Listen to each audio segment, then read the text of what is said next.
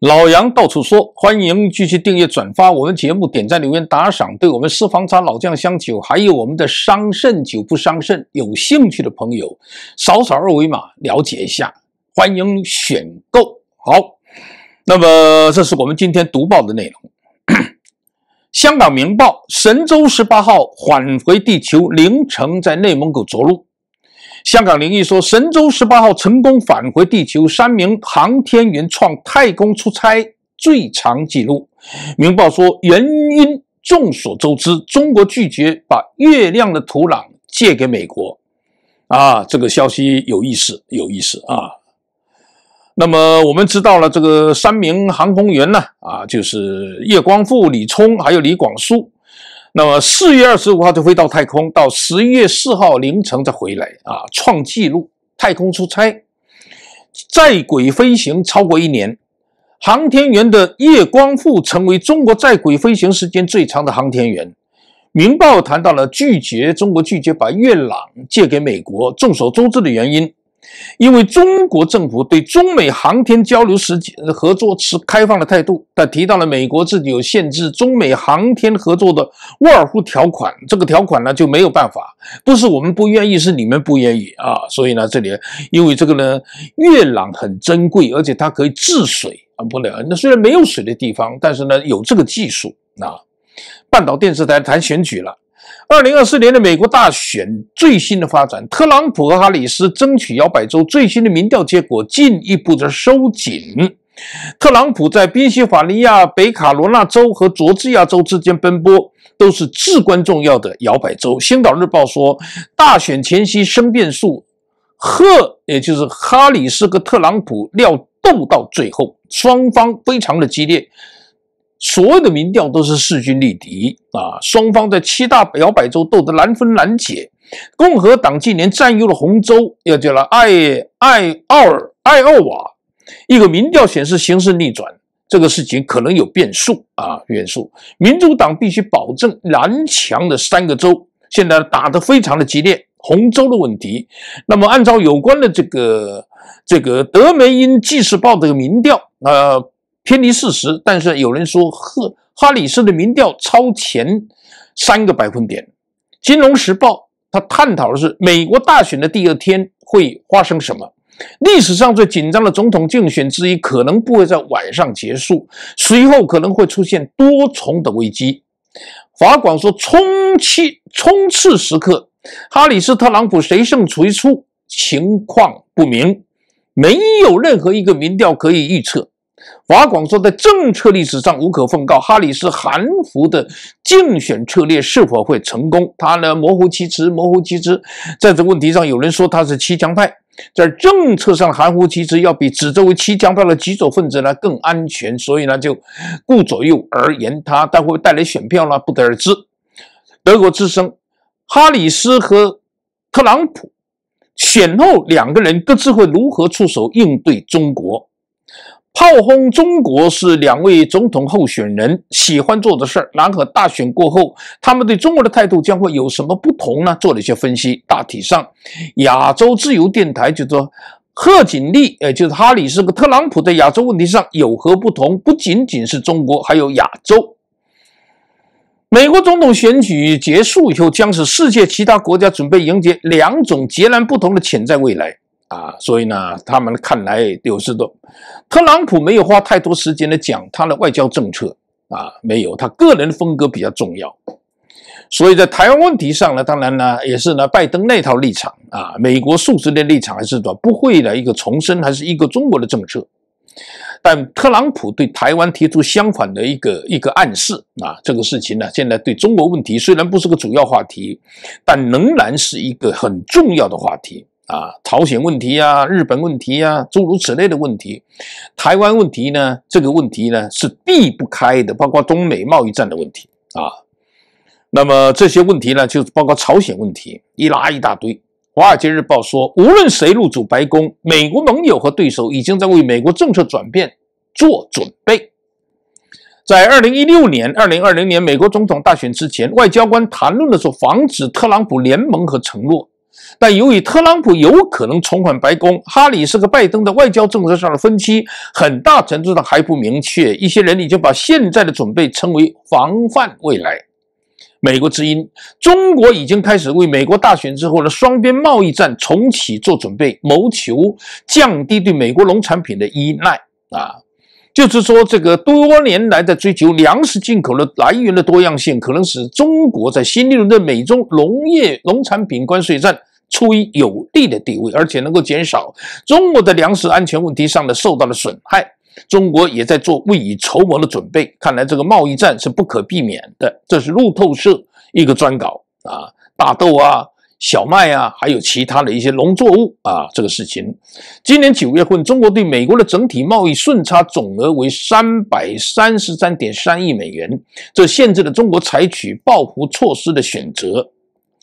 法广谈到了特朗普，特朗普说他很惋惜上一次不该离任，预计胜者争其二就会见分晓。他觉得呢，上一次贸然的离开是不对的。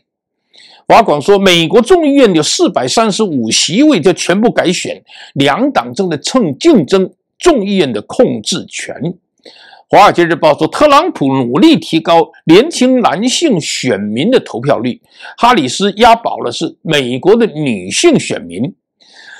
呃，特朗普这个策略可能会抵消哈里斯在女性选民中的巨大优势，但如果他的大男子主义言论和粗俗的表态让女性选民反感，这种性别差距就会越来越大。当然了，纽约的但是小松鼠也有可能改变一些选情。法广法广以少胜多，奇特的美国选举制度，这观念叫美国选举制度，在外人看有他难以理解的成分。呃，就是说，特朗普在二零一六年的美国总统大选胜出，但他得的票数比特希拉里要少将近三百万张。小布什的两千年战胜戈尔当选，后者其实比前者多了五十万万张的选票。这就是美国呢这个选举人团这个制度的一些很有趣的现象。《纽约时报》今天的一个头版头条谈的是为什么民主党想击败哈里，想击败特朗普是那么的难。无论星期二发生什么，我们都可以说这次选举并不像民主党预期的那么顺利。不管怎么说，为什么特朗普为什么还仍然有那么多的竞争力？最简单的答案是，国家政治环境并不像很多人想象的那样有利于民主党获胜。民主党在这次选举中显然面临面临逆势。嗯，在如此众多的美国人对国家和总统不满的情况下，没有哪个政党曾保住对白宫的控制权。而民调显示，民主党面临的挑战更为严峻啊！民主党面临的挑战似乎是发达国家执政党面临的政治竞争大趋势的一部分。选民们都希望有一有机会就渴望改变。其实呢，英国、德国、意大利、澳洲，最近日本的执政党都有这样的一个挫败。特朗普四年前输了，法国、加拿大也有可能会加入这个黑名单。当然，这里面的关键谈到美国后疫情时代的幻灭和居丧，给民主党带来严重的负面的影响。嗯，民主党有哈里斯，就特朗普这张牌可以打，再像堕胎权议题，可能足以让民主党获胜。但这是二零二二年中期选举发生的事儿，这一次不一定，不一定是所谓的进步派的胜利，也许呢。将是一个时代的终结。他说，自二零零八年以来，民主党和自由主义之主导的美国政治，民主党连续四次的总统大选中赢得大部分的选票，自由主义在文化占了主导地位。但是，特朗普的当选并没有阻止自由主义能量的涌现，相反，它加速了发展。那么，在过去几年，他发现呢，在美国，所有自由主义能量已经突然消失了。现在呢，对疫情限制和觉醒主左派的强烈反对，逐渐成为主流，分裂了自由主义的机构，对媒体或者专家和科学家的信任度直线的下降。年轻的美国人转向社交平台，在算法变化的帮助下，发现他们对连麦的总统高昂的价格失去了机会，以对一个不适合他们的系统的愤怒。所以呢，民主党呢没有办法，只能是被动的应对。啊，他认为这种向右转变在政党认同方面也很明显啊，政党登记的趋势也出现了，共和党在全国范围内迅速崛起啊，迅速崛起，在更长的十六年的时间跨度，这是一个变化零八年民主党上台，满怀信心入主白宫，但是今天的过去十六年，民主党的大部分议程，很多选民对国家的现状不满意。如果特朗普获胜，这才是最具有可能性的解释，而不是他自己的政治受欢迎的程度。这是民主党自己本身施政的问题。民主党可能会在星期二继续保持连胜的势头，但当历史学家回顾的时候，他们可能会得出这样的结论：自由主义的优势在美国已经结束了。金融时报，他甚至呢很明确的说：“我们将在特朗普的世界生活几十年。”特朗普让保护主义重新流行起来，现在他有了自己的发展势头。特朗普在政治上堪称巨大的成功，这不是因为他当选了美国最高、世界最高的职位，每个闰年都有人这么做，但是因为他实现了政府中最难的事情，那就是约束了自己的继任者，在贸易这个问题上取得了共识。下一任总统是无法回头，也不想回头。这这是拜登经济学的关税和补贴。保护主义在世界其他地方蔓延，大部分改变时代常识的领导人需要连任。那么特朗普呢？是两者皆不需要，他能够把叛教转变为正统。美国之音。二零二四年的总统大选，更多华裔的选民出钱出力助选，以提升华裔的美国社会的能见度啊！他看到了，在不管是民主党还是共和党，华裔选民展现的比过去更高的热情。很多人通过了捐款、做志工等方式为候选人助选。美国之音采访了华人选民，表示。不论党派为何，每个人都应该积极参与投票，提高参政议政的意识，有助于提升华裔在美国社会的能见度和重要性。啊，这成立了各种团体啊，诸如此类。我一个朋友呢，为共和党的这个募捐呢，是搞了不遗余力啊，很多这样的新移民也罢，老移民也罢。英国 BBC 今天的头版也是谈到美中大选，美国大选，中美关系恶化之下，华裔科学家如履薄冰。不要再与中国有任何的瓜葛，中美关系持续降温。华裔的科学家倍感寒意。他采访了几个因为这个自己华裔科学家的身份受到美国国土安全部联邦调查局的调，很多东西就得到。特别到了二零一八年，美国司法部启动了中国行动计划，就是要通过阻止向中国转移资讯和技术，打击经济间谍活动，而华裔的科学家首当其冲。搞得大家苦不堪言，苦不堪言啊！这个事情呢，应该说美国后来就匆匆收场了中国行动计划，但对对，在美国的华裔科学家呢，带来的打击和阴影是非常深重的啊！二零二一年就有超过一千多名在各种领域，特别是生命科学领域的科学家，华裔科学家离开了美国。虽然有人认为他没有办法离开美国，他仍然相信美国拥有独自的、独立的司法体系，能够确保他安全和清白。但心有戚戚，安全感是不够的。他也被逮捕过，叫胡安民。嗯，胡安民跟美国政府打官司来求清白，要付出的代价也很大啊。德国之声。张俊华的文章说，互信程度低，就是中国外面世界的互信程度低，导致喋喋不休，间谍的东西太多。讲到了这当今世界上呢，这个间谍活动的频繁性和范围有多大，直接跟双方的信任度有直接的关系。中国跟西方有过一段比较甜蜜的时期，但是现在不一样了。现在当时呢，那个甜蜜，西方很多敏感技术领域的大学专业都向中国开放，但是现在应该说。没有了，在奥巴马执政以来，或者习近平执政以来，这种中国外面世界蜜月期成为过去。欧洲好像还陷入了惯性，那美国很早就提供了。西方犯了一个根本性的错误，就是缺乏如下意识，就是说中国共产党本来就是个地下党，即便用枪杆子推翻了政权，变成了执政党，它保留了很多地下党的特征。地下党和间谍和种不透明的做法有直接的关系啊，讲了地下党。统一战线这个地下党的法宝仍然被共产党的使用的有三大特征。中共的间谍跟西方不一样。第一，中国的间谍机构采取的走群众路线，每个人都可能具有间谍潜在功能，广种博收啊。这当然了，重点培养啊。这谈了他个人的一些看法。第二个呢，就是相当的精力是用于如何调理和掌控中国人和华人啊。那么第三呢，就保证中香港的稳定，曾经派了大批的特工人员潜伏在香港。那么中国大陆在台湾安排多少特工？但是从台湾他那个暴露的间谍案例也开出有一些东西，谈到了中国间谍的特征，系统繁多，各自为营啊，啪啦啪啦一大堆，讲得很具体。地下党才会这样啊！他的迟钝的希望，直到现在才有警觉。嗯，迟钝的希望，中国也在进行反间谍。不管怎么说，这喋喋不休，是因为你跟外面世界现在已经没有互信了，要不然。跟雷美继续没有互信，间谍的故事会越来充斥我们每个人的日常生活。美国之音谈到直击中国的虚假信息行动，开始质疑美国大选的公正性，也就是垃圾伪装这些呢，现在都在加紧对美国的公众呢有一些释放，转发了很多中国虚假信号信息的账号，指控了很多美国的一个东西，而且在美国的社交平台上有广泛的传播。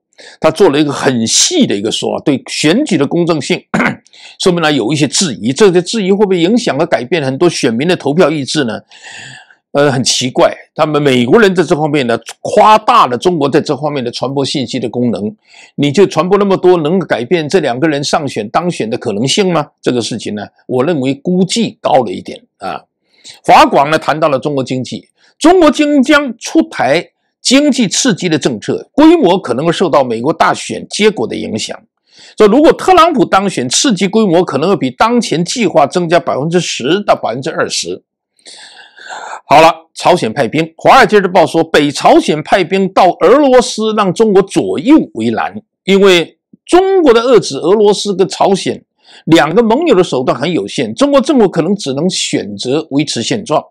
华广说，金正恩向俄罗斯派兵，让北京大吃一惊，打了个问号啊！这是华盛顿的卡内基基基金会的一个叫赵通，他说了，至少朝俄的合作的程度让北京吃惊。那北京知道还是不知道啊？他认为，实践来讲呢，历来。朝鲜是非常依赖中国的，近些年来，莫斯科更愿意加强跟平壤的经济联系，而北京表现一定程度的克制。朝鲜的经济上极为依赖中国，也跟俄罗斯过去对援助朝鲜极为保留有关。朝鲜对中国的安全要求也不太易回应，呃，中国不太赞成朝鲜。发展它的核计划和弹道导弹计划，但是呢，这些在俄罗斯的帮助之下，朝鲜可能在导弹方面有一些进展。核计划加速韩国、日本的担心，计划两个国家跟美国强化军事的合作。中国担心的当然还包括美国其他的盟友的澳洲啊、新西兰等等的事情，也就是朝鲜这个做法加速亚洲小北约的下呃形成。那么他认为中国这个做法其实是呢不愿意看到朝鲜跟俄罗斯走得更近。当然也有人说，习近平一早就掌握了解的故作呢啊，诸如此类，这也是外界的一个诠释。《华尔街日报》说，伊朗释放强硬的外交信号，将对以色列发动强有力和复杂的攻击，包括威力更大的弹头和其他的武器。很多人说，伊朗呢，德黑兰拦截了很多以色列的这个啊这个导弹。其实又有的人说，那就是电子游戏机里面截下来的一个一个截图，啊，这个事情到底是真假不知道。总而言之，说电子游戏机的逼真程度也会让伊朗有一个认知战的武器。两则汽车工业的消息，华广说，大众汽车危机的新数据，盈利在第三季度猛跌百分之六十四，那很不得了。德国汽车专家说，高工资并保持工作岗位是行不通了，因为德国大众汽车集团在德国面临衰退危机，它就变成了众矢之的。但是你要拿工高工资，你还要有工作是不可能的。就看来，德国的汽车工业受到了这个冲击是显而易见。星岛日报说，地方财政不足，远洋捕捞成风。内地的经济下行，地方财政不足，远洋捕捞成风，珠三角成了异地执法的高发区。这个呢，广东人、广东的媒体、广东政府很不满，很不满，但是没有办法。近年来，一些地方为完成工作指标，面临经济下行背景的创收压力，公安机关异地执法就类比沿海渔民出海而获得的渔获一样。这个呢，深圳。广州、东莞等珠三角地县成为了异地执法的高发区，这个很多媒体都披露这个消息，当然，中央好像也无力可施。联合早报也同样报这个消息：中国地方财政不足，异地执法获利，远洋捕捞成风。啊，远洋捕捞。在这个情况之下，《联合早报》有个专稿：中国首部的民营经济促进法能否提振信心？下个星期要完成一个月的意见征集啊，这听说是社会期待已久，但是能否像它的名称一样促进中国民营经济发展？受访的民营企业家律师的肯定立法意义之余，也指出中国提振民营信心的根源。在重建信任，即使有了法律的保护，法律能执行的什么程度也是问题的关键啊。首先不是信心的问题，是信任的问题。信任的不复存在，异地执法、远洋捕捞成风，你说叫大家怎么有信心，怎么有信任感呢？嗯，这部法。有些民营企业家说，执行到毛细血管才有用，否则呢也是空的啊。信心有高有低，但信任一旦失去，根基就没有了。嗯，好了，美国之音这是谈到了中国式的美国工厂为服药美国打工的中国牛马啊，这是他们深入到服药的俄亥俄冈州的这个服药玻璃。那么现在呢，就讲了有很多故事，人家做的很细啊。曹德旺先生可能对这不以为意，但实际上是应该要重视的啊。就是在榨取性的制度之下，榨取性的经济制度之下的行之有效的工作态度、工作方法、劳工的一个保障跟。包容性的经济制度是不可同日而语的，这一点可能曹德旺先生可能没有注意到，但是呢，这一定会受到美国有关司法当局的关注，也会给胡耀玻璃在美国的安家安家落户安身立命呢带来一些阻力。德国之声呢就引用了不啊不明白博客这原力那个东西呢，访问了网红叫做凤姐罗玉凤。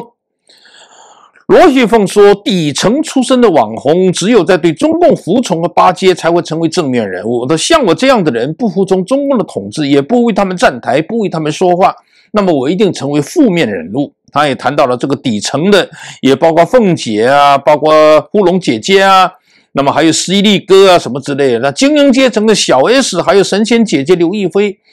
他们就没有这样受到了恩宠。他实际上来讲呢，像丁真啊、农村四哥啊、华龙兄弟、李子柒，都是出身于社会底层。他未成为不正面人物，他懂得巴结，懂得服从。到了李子柒，其实是中国政府的一个宣传大使啊，啪啦啪啦一大堆。新加坡的端传媒说，缺乏包容性制度和保障的繁荣繁华盛世，只能是虚幻。这个文章呢，作者叫北卡罗纳州的大学教堂山分社的政治系的助理教授的王野，他也谈到了一些观点，就是说这个文章的标题说，动荡年代中，我们还需要制度决定论吗？啊，啊，最后一个结论是说呢，就是。整个国家现在来应该说了，当自由一步步被侵蚀，生活中的每一秒都处于监控之中，整个国家都被统治者的个人偏好支配的时候，我们始终将清醒地认识到，缺乏包容性制度的保障的繁华盛世，只能是虚幻。这是哲学家的语言。英国 BBC 采访了香港著名导演杜琪峰，我和香港都失去了灵魂，人权和自由都不见了。啊，他讲了很多啊，讲了很多。亚洲自由电台讲了杜琪峰罕有的比香港没有人权自由，在香港大公报发了两个评论反驳啊，反驳。但这反驳说老实话是小菜，没有任何的说服力。嗯，这是关于杜琪峰啊，杜琪峰。当然，最后一个消息呢，就是我曾经的一个老朋友，《联合早报》报道，广东广播电视台原来的台长、党委书记张惠建。被指隐瞒境外大额存款被开除中共党籍，估计呢很容易就会被司法审判。呃，这是广东省的纪委监委的星期天十月三号在官网通报。广东省纪委监委对张惠建严重的违纪违法问题进行立案审查调查啊，说为党不老实、不忠诚、政治意识薄弱，没有按照规定向党组织请示汇报重大事项，对抗组织审查，履行全面从严治党主体责任不力。哎呀，讲的太高了啊！他说他怎么样，在境外有大量存款呢，隐瞒不报，这成了他的罪名。张慧建是长期在广东省广电系统任职，二零一八年卸任，六年后被查，倒查了六年，不到十年就开始了，就出问题了。这我们今天读报的内容，来做一些新闻的点评。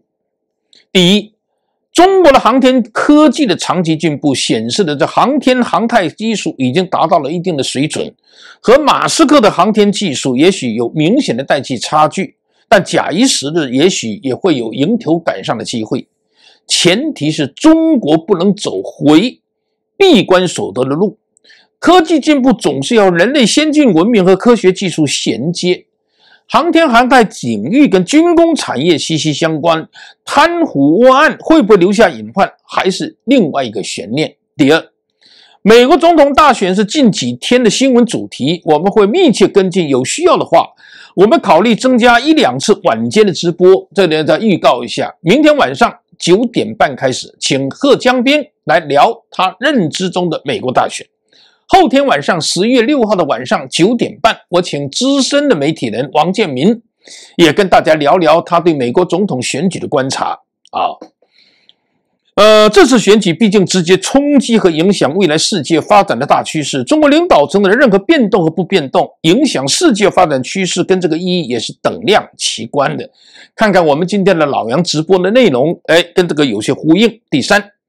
中美关系的趋势走向，在美国大选明朗化之后，政治局和政治局常委会会有个方向性的思考和决定政策的一个方向。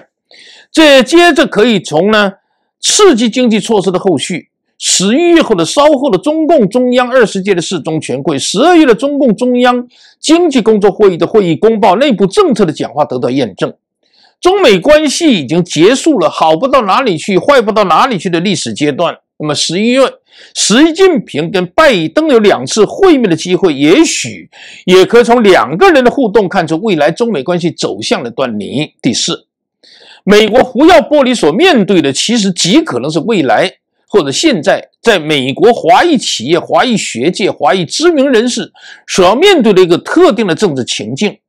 华裔学者已经饱受了中美关系恶质化之苦，胡耀玻璃所面对的可能会多一个新的因素：榨取性的经济制度之下的得心应手，未必能够完整移植到美利坚合众国。这是年事已高的曹德旺先生可能还需要未雨绸缪一个选择题。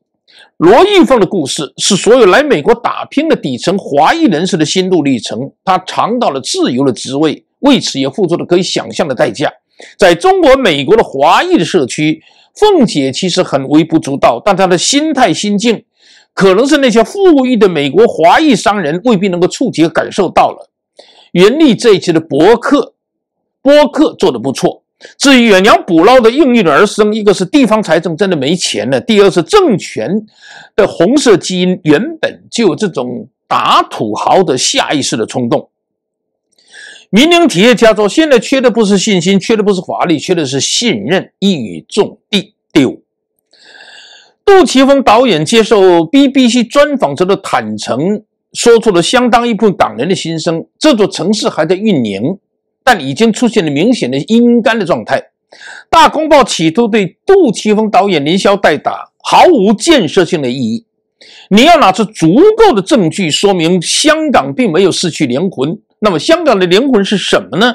就是自由和法治，是高才通以及内地各界人士能为之向往残存的文明、自由和尚未完全被摧毁的法治。龙应台当年说：“请用文明来说服我。”所以说，光靠谩骂说服不了杜琪峰，也说服不了包括我在内的大部分的香港人。第六。广东省原来的这个电视台广电系统的党委书记台长张慧建中箭落马，我跟他很熟，他差一点就成了凤凰卫视的资讯台的一个创台的一个一个一个领导。我发自内心，我很欣赏他的专业才能，连这样的专才也会最终查处落马，如果不是制度性的腐败，何至于此？真的很可惜啊。早期凭借个人的努力、勤奋赢得了一席之地。为了继续攀爬，要想当官，就需要有钱，需要有酒量。钱卡里拿拿啊，就开始来了。之后你要当上副部长或者什么的，只能靠运气。张卫健跟其他的电视台的领导人不一样，他从来不碰女人，尤其不碰台里的女主持。但这最终也挡不住权力和金钱的诱惑。一九五九年出生的人，余生看来只能在狱中继续修行了。当年呢，我为了纪念甲午战争一百二十年，我跟日本的蒋峰，我们合拍了一个三集的《走读日本》。穿越日本的东西，本来要在广东电视台首播的，但是呢，要广电总局来批准，迟迟不不批准，到没有办法放弃，因为呢，这有广告等等问题。张卫健暗示我，你应该到北京广电总局，请他们好好搓一顿。我没有这个悟性，我也不搓这一顿。我花了三十几万，还要为这个片子能不能播去拍他们马屁，这不是老子要干的事。我。不懂中国的国情，但这部片子还是最终免费的在一些城市的电视台播出，也了了我呢对纪念甲午战争的一个信念。张惠健那个时候应该还没有大面积的落啊走向那条路，希望他好好的。这是我们今天读报的内容。老杨可以说，老杨到处说。